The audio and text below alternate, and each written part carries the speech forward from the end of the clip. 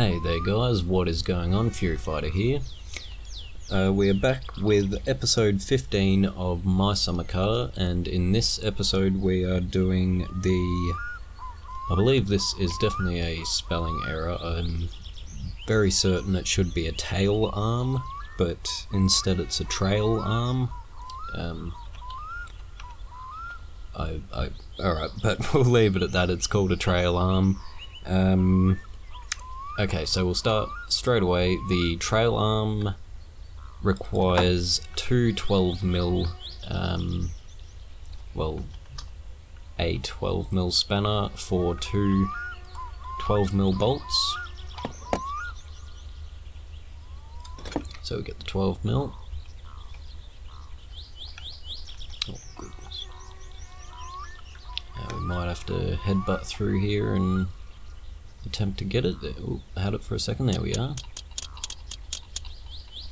And there'll be a one on the opposing side as well, there we are. Bit difficult to see, but oh well. So we'll jump around and do the next one. Beautiful. Headbutt through the car here. Excellent. Where's this one? Oh, there she is. Beautiful. Okay, and now the drum brakes. The drum brakes require. Oh my goodness, I cannot speak. Require one 14 mil. Whoops, that didn't go on.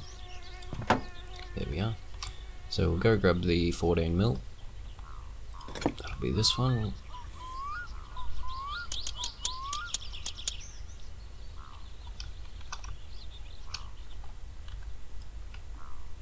There we are, whack this one on.